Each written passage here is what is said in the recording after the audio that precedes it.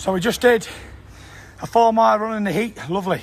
I took a ride, you know, it's harder. The ride is harder. Well done, Isaac.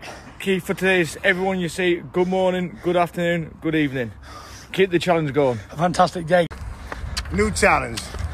Nobody speak to each other anymore. People, the human race. It's gonna be good morning. It's gonna be good afternoon. It's gonna be good evening. There you go. That's the challenge. If you can do it. So got me new uh, mural done in the gym. The Tyson Fury Foundation. Boom! Have that wilder. what a painting. John, fair play. Three, two, one, go. I'm here in uh, the UK. I'm here to uh, check out Tyson Fury's new gym, beautiful new gym. If you have a look around, Muchas gracias, señor. you'll be amazed at the way it's set up, the vibrant photos, action photos. This was just the way Emanuel would have had it done. Uh, it reminds me of his office that he had in Detroit back in the 80s and 90s. Uh, just a touch of class. You got a big mirror on the wall of you hitting Deontay Wilder with the right hand to send him to the. Let's go for a walk. Come on. So it's right over this way. This is the right hand that changed the world.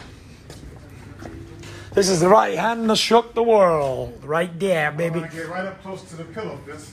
Yeah. Just check there's nothing in them gloves, will you? See? I don't feel nothing. But the autopsy has said that there was a metal object in the gloves. from what I heard. So uh, It's no secret that Joshua did not want this fight.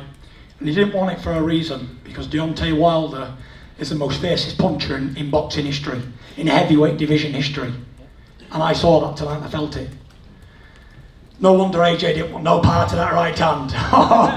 he can't move like me, he'd have been nailed. So if you enjoyed this video and want more content like this on the channel, you can show your appreciation by going to the PayPal donate button or the YouTube support button, and you can donate any amount that you feel is equivalent to the value of this video. Much more to come. Thank you guys for your support. Boxing Ego, the future of boxing.